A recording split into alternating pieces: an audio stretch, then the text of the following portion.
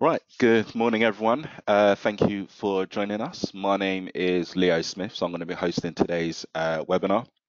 And my colleague Jack Mansfield will be conducting our demo today.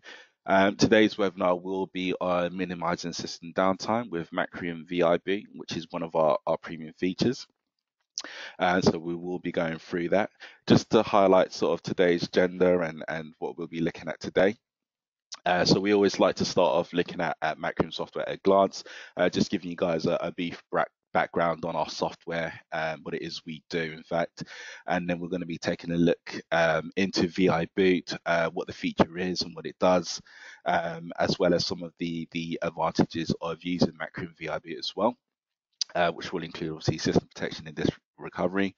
Um, and then Jack will be going through the demonstration of VI Boot um, in regards to direct recovery, disaster recovery. Sorry. Um, if you do have any questions that you think of during the webinar, do feel free to put them in the chat box. Um, we will have a look at them towards the end as well. And, and then, of course, we will give an opportunity um, for you guys to ask us any questions directly in regards to either licensing or, or uh, VIB itself and the features.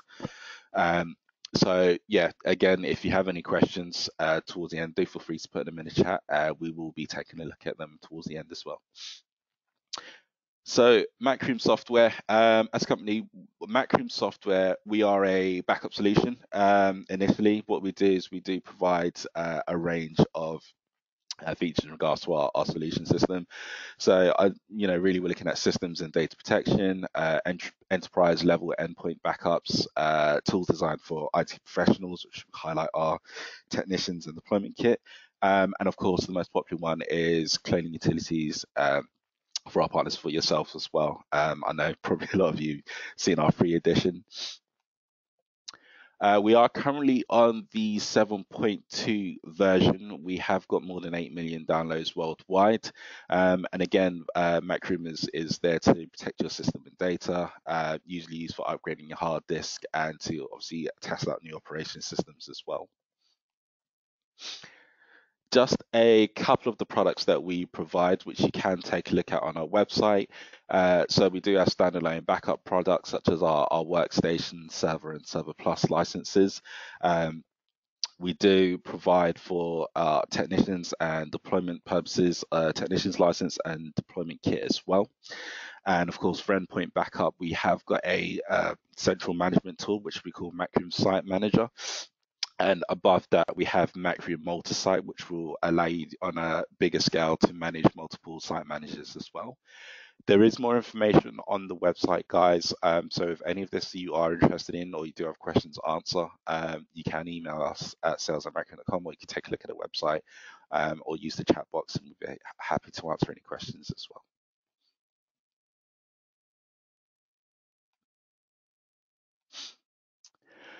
So just to explain to you what uh, Macrium viBoot is. So viBoot is a feature within Macrium software that enables you to instantly create, uh, start, and manage Microsoft Hyper-V virtual machines uh, using one or more of the Macrium image files that you would have taken as the basis for the, the VM storage and subsystem. Um, initially just allowing you to use any backup image that you have to run as a virtual machine on a separate piece of hardware um, in case of any physical damage to your machine, your laptops, or anything like that, just to uh, reduce sort of um, the time and in a lot of business sense, the cost of not being able to work because your machine is down or has to be sent to, to IT to be fixed. Uh, so some of the real world applications are, of course, recovery, uh, temporarily replacing a, a, broken physical machine, as, as I just mentioned, with a, a virtual machine, uh, just avoiding downtime due to hardware failure.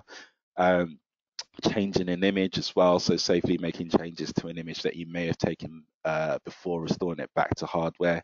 So if you do have an image, but you, you quickly want to make a, a change because you you know you, you forgot to back it up, uh, you can literally just boot into the image to do so, um, and it will allow you to make those changes um, on a sort of VMs um, to to see it and of course physical to virtual, so saving time migrating physical servers into a virtual environment, uh, bypassing the need to actually boot the VM into the rescue environment itself to then perform a restore. So it just speeds up that process for you as well.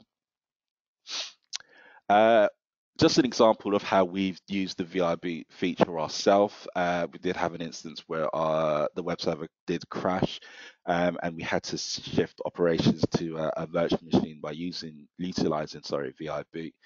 Uh, this allowed us to obviously keep everything operating while working on that physical server to get it back up and running. Uh, this again, as I mentioned, uh, mitigated downtime until the server was was good to go again. So what I'm going to do is I'm going to pass you to my colleague Jack, who will go through the demo um, on uh, Macrium VIB. As I mentioned, if you guys do have any questions during the demo, uh, please do let us know. Feel free to put it into the chat box, and we will uh, look at them towards the end. All right, over to you. Jack. Thanks, Leo. So as Leo mentioned today, we're just going to be looking at how to use viBoot, some things you might want to take into consideration. So the first thing to take in consideration when talking about viBoot is the requirements to use it. So to use viBoot, it requires the Hyper-V feature to be installed on your operating system and the operating system to be Windows 8 or Windows Server 2012 and above for the demo today, we're going to assume that you've already created your image. So to use Viboot, we can go to the Restore tab here. And there's two different ways of launching Viboot. Uh, there's the Launch Macrium Viboot here, which will open the Viboot window. You can use this to manage and create virtual machines. If you select New here, and then select image files, you can select the image that you want to boot into a virtual machine. However, the quicker way of creating your virtual machine is to just select boot image next to it here. This will instantly take us to the VM settings, which allows us to specify what type of resources we want this virtual machine to have. So by default, this will have Viboot and then the name of your image, but you might want to change this to something more memorable if you're managing several Viboot virtual machines at the same time, this will help distinguish them. The next thing to consider is what this virtual machine will be doing and the amount of resources that you have available. So if I'm Vibooting a server that requires a lot of memory, we'd want to increase this here as well as the amount of processors that it has. However, you should also take into consideration the amount of resources you have available to you. If you're using a computer that only has, say, eight gigabytes of memory, uh, you're not going to want to set this too high or else it will start taking system resources away from your actual machine. And in the case that you have insufficient resources to boot this virtual machine, um, the virtual machine just won't boot. So a good default is 2 gig. This will allow us to boot the virtual machine and also not take too many resources away from the host. The next thing to consider is the virtual switch here. Uh, this is what will allow the virtual machine to access a network and communicate with other computers on our network. Um, it's important to remember here, if you're vibooting a server, for example, and the server that you've imaged is still online, um, quite often servers will have a static IP address set. So if you boot this image and the image has a static IP address, this could cause a network conflict. So what you might like to do is leave the virtual switch as none here while you're creating the virtual machine boot up the virtual machine, change some of the settings to make sure it doesn't conflict, and then attach it to the network later on. However, obviously, if the computer that you're booting now has gone down, um, you won't really have to worry about this. So we'll select default switch here so that it can communicate with the network and then select finish. So now we'll start creating our virtual machine. Um, this process will be quite a lot quicker when you do it in your own environments. Um, I'm doing it in a nested VM here, so it will take slightly longer than normal.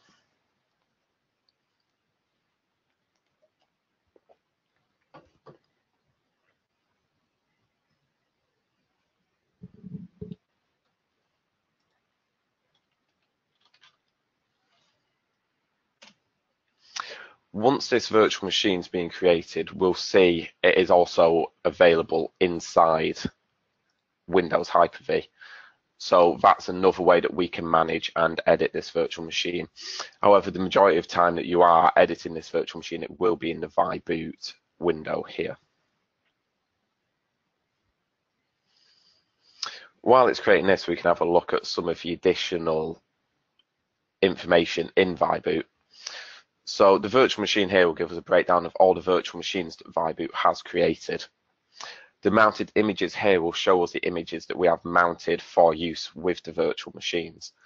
And the log here will give us some additional information about what is happening to the virtual machines.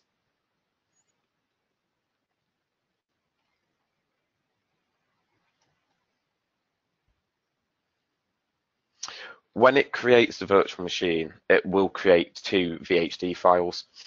Uh, the first VHD file will basically just outline the structure of the disks that's contained in the image. The data for the virtual machine is then read directly from the image file. The second VHD is essentially a differencing disk which will have any changes written to it. So the initial disk which outlines the structure of the disks in the VM will stay relatively small um, depending on the amount of usage and changes that happens in this virtual machine, the difference in this can grow quite large. Um, so that's also something to consider. By default, the virtual machine repository is on the C drive in program data. However, you can change that. And we'll have a look at my environment here in a second where that has been changed. Uh, sorry, Jack, just to interrupt. We can't see your screen anymore, just to make you aware. One second.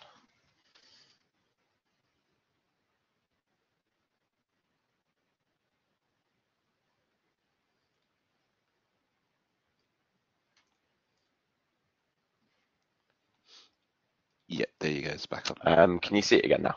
Yeah, back up and running. Great. So it appears that the um, virtual machine that I'm running it on here is fairly slow. So we're going to cancel that and just create the virtual machine again.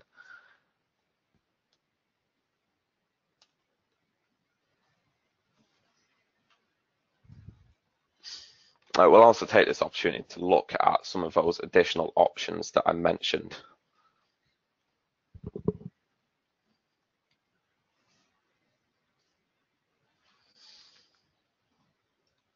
Okay, so if we delete the disks that it was creating there. So as I mentioned, you can actually move the virtual machine repository. Uh, that's done through the options menu here. So as I mentioned, with the difference in disks growing quite large, you might want to move this off your C drive if you mainly want to use that for your operating system. So in my environment here, I've moved that repository to the D drive here, which is larger in size. So I don't have to worry about those differencing disks getting too large.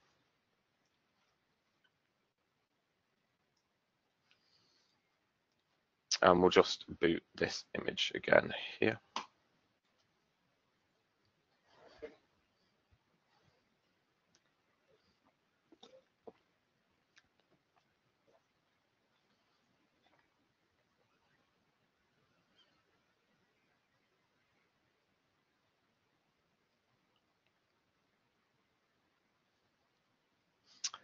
So now that the virtual machine's being created, it will open in a Hyper-V-esque window here.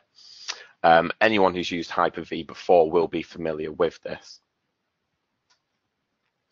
So you have all the options of Hyper-V up here. And if we open Hyper-V itself, we can actually see the VM here as well.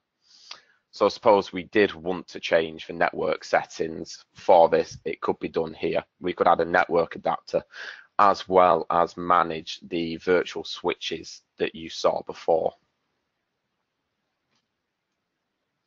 So these are the virtual switches that will be displayed in um, ViBoot. By default, you will have a default switch here. And if you don't want to change the virtual network settings too much and you just want to get your images vibooted. Uh, this default switch is fine.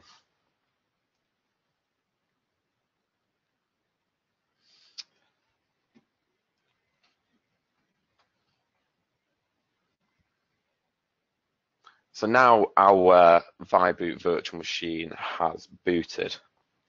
Um, this will be at the point in time that the image was created and will seamlessly take over from that point in time.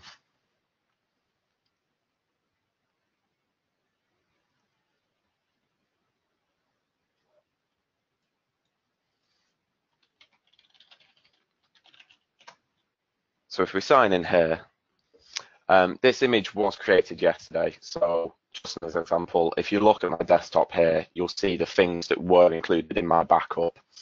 Um, if we mounted the backup, you'd see the same files as well. So once the virtual machine is booted, it will be at this point in time and you'll see these files and programs on the desktop. So this shows the disaster recovery side of viBoot, where you can instantly boot a virtual machine based on an image.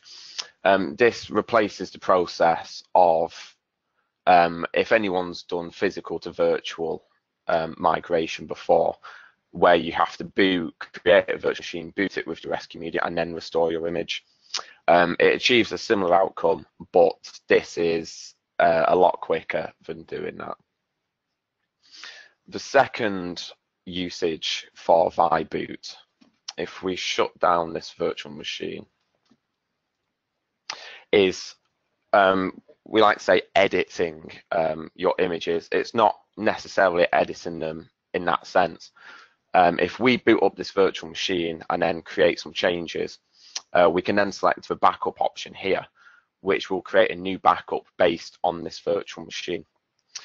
So a good example of this is if you're planning on, say, a mass deployment to a hundred or so clients, um, you could boot up your base image, install some new software, update the base image, whatever you need to do, and then create a new image here, and then use this for the mass deployment. Um, this might make it a lot quicker than installing that software onto a machine and then re-imaging it and obviously, the more changes that you need to make, you can just keep booting up that image, booting up the new image, make some more changes, and then create a new one.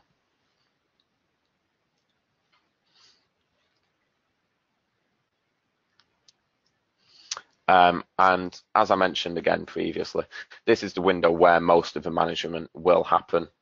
So now that the virtual machine is being created, we can see the mounted image path here which shows what the image is and where it is. So that's our image on the D drive here. And also the virtual machines that we have currently. And we have the additional options here to back it up and delete it as we need to.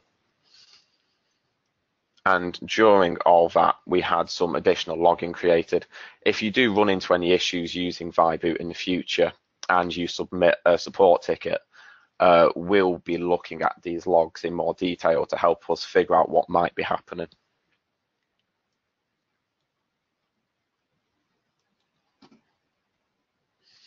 And that's everything uh, we wanted to show you today with Viboot. So I'll pass it back to Leo.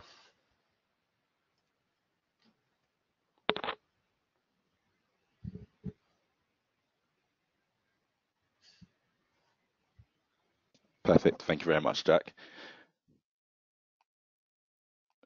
Uh, right, guys, just to sort of summarize um, a little bit and how uh, can make your life a little bit easier. Um, you can obviously uh, now test software in a virtual environment before installing on your PC. So if there is anything you wanted to double check uh, in terms of the images that you you're taking that you're looking to restore, you wanted to make sure everything you had, you know, you had all the files that you had there. Uh, you can do that using uh, um, and again, just beating it and checking what you, what it is you're actually restoring. Uh, will allow you to to safely update uh, Windows operating system as well, as well as recover essential network servers as well um, fairly quickly. So that's just sort of, sort of some of the, the benefits of using viBoot. Uh, once again, just to make you guys aware of some of the other features that Macrium Reflect has, uh, which includes Image Guardian, um, rapid delta cloning, rapid delta restore, uh, change block tracking, and Macrium redeployment as well. If you guys do have uh, any questions in regards to those features, that again, there is lots of information on our website, or do feel free to uh, do feel free to message uh, sales at macrium.com. Um, perfect. As I mentioned, if you've got any questions, we're just going to go through uh, anything mentioned in the chat, and then we will open up the floor to anyone that has uh, questions as well. Um, so it looks like we've got a question from Jason regards licensing. Can Macrium be installed on a host and a VM, so same physical machine? Uh, the reason is when running an image um, on viBoot in a recovery environment, there's an option to run backup, but you need the full version of Macrium installed. Uh, for example, on the host running uh, viBoot with recovery image of the VM.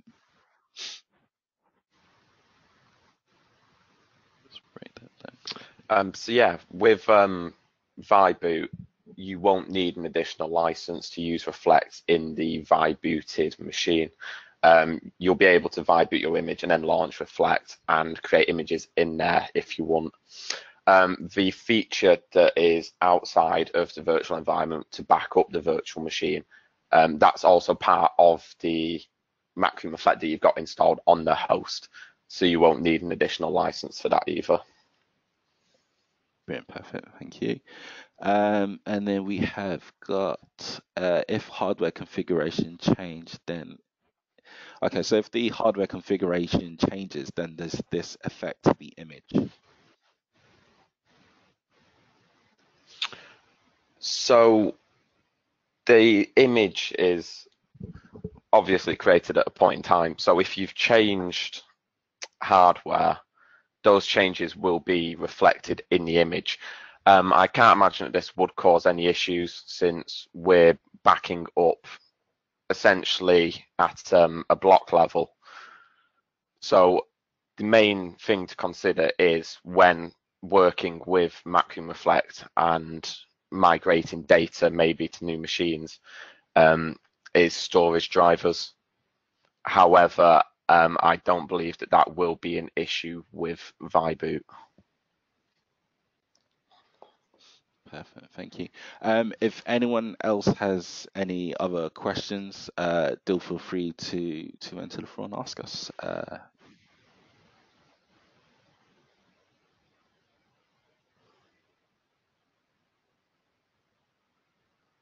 it looks like we've got uh, another question from Jason.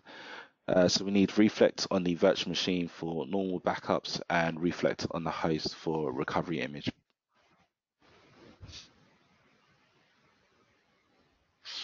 you'll only need one license for this when using viBoot, um, since once it's booted the virtual machine, it won't uh, require another license to work, I believe. Um, when it comes to restoring as well, uh, we always advise creating your rescue media, so you won't need an additional license to recover um, from disaster. You can just boot into the rescue media you've created with your licensed version and then restore that way. Perfect, thank you, Jack.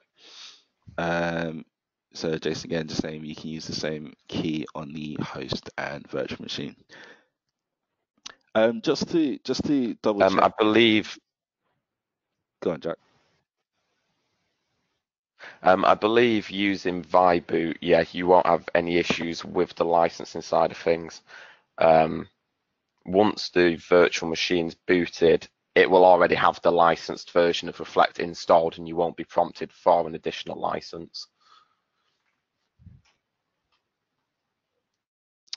Uh, we've got a question from Christian as well. So the free software managed to fix a few PCs for me, but I'm running it into issues at a Vista installation with a full boot partition, which does uh, which doesn't want to save an image. Uh, he's got the machine booting by writing on another partition, um, but didn't help as well. Any ideas? Um, I think the best thing to do when it comes to booting issues is I'd firstly try the troubleshooting steps that we mentioned in the previous webinar. So that's booting into Rescue Media, running fixed boot problems, and depending on what the steps you've taken, potentially running redeploy as well. Um, if you continue having issues after that, I check the motherboard settings um, to make sure that it's booting in the correct mode. And then if you continue to have issues, I'd submit a ticket to helpme.macrium.com. Um, that way we can get a bit of additional information and fully understand the steps that you've taken to help you resolve it. Perfect. Thank you, Jack. Uh, again, guys, uh, any more questions?